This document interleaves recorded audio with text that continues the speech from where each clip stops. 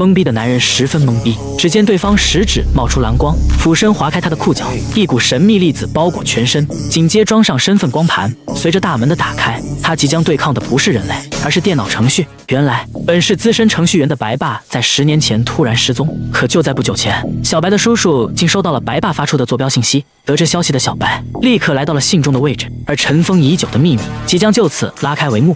在小白的一键三连后，一道强光侵袭，瞬间改变了周遭的环境。不等小白回过神来，就被人强行换上装备，送到决斗场上。对方不由分说地摆出战斗架势，紧接一个旋转投掷，飞盘以超光速射向小白，险些命中。然而隔壁的老哥就没那么幸运了，因此他决定做出反击。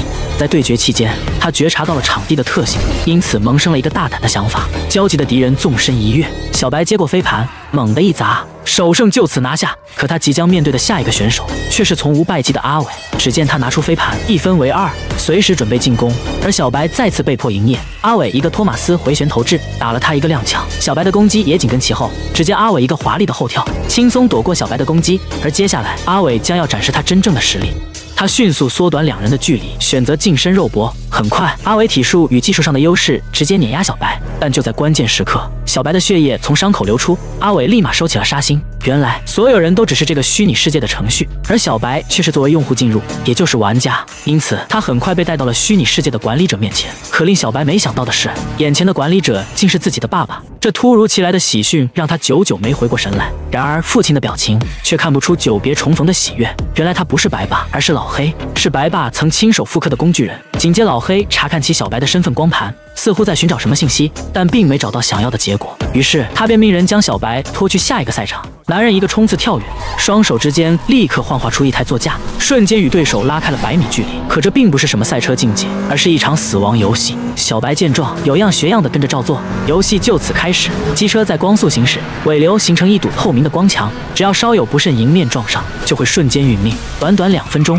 白队就仅剩二人，两人合力拿下黄队人头，可同伴却意外失去平衡，导致装置脱手而出。小白见状，连忙掉头拾起，千钧一发之际，同伴还是被黄队击杀。退无可退的他选择正面迎战，可下一秒，小白被重重的干翻在地。随后双方摆好架势，准备殊死一搏。这时身后发出一道光亮，一台跑车映入他的眼帘。神秘人连忙催促小白上车，紧接一脚油门，瞬间弹射起步。随后他按下按钮，立马发射出两枚导弹，将墙面炸毁，迅速逃离现场。黄队的机车由于权限问题无法离开，因此止步于场地边缘。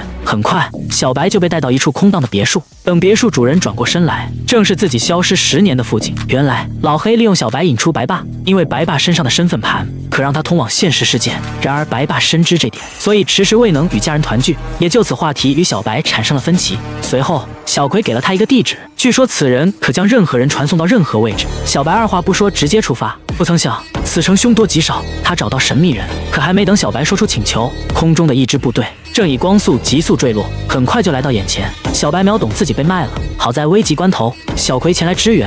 可一个晃神的功夫，小葵被敌人架住，下一秒手臂被当场卸下。这时，一只双手按向地面，白爸凭借造物主的权限，让敌人瞬间失去行动能力。他没有选择恋战，带着小白两人转头就跑。可就在最后一秒，敌军一记飞索，将白爸的造物主光盘吸走。那么这就意味着老黑将带领千万虚拟大军涌入现实世界。男人非常恼怒，猎物竟在眼皮底下逃脱。他带领手下直接从万米高空一跃而下，紧接双手泛起光亮，一台喷射战机瞬间显现。之所以如此大动干戈，只因他想成为一个人。这里是虚拟世界，老黑终于获得通往现实的钥匙，正对着百万大军宣讲宏图大业。另一边的小白为夺回造物主光盘，孤身潜入敌营，凭借主角光环一路杀进到光盘面前，紧接带着小葵从万米高空一跃而下。等老黑赶来，却已为时已晚。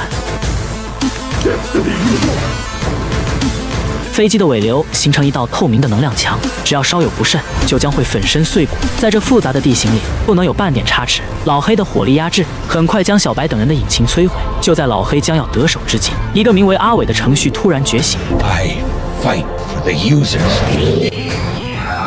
他直接与老黑迎面相撞。原来。他也曾是白爸一手创造的管理者，只因老黑的叛变，为掩护老白逃脱，被强行修改了命令。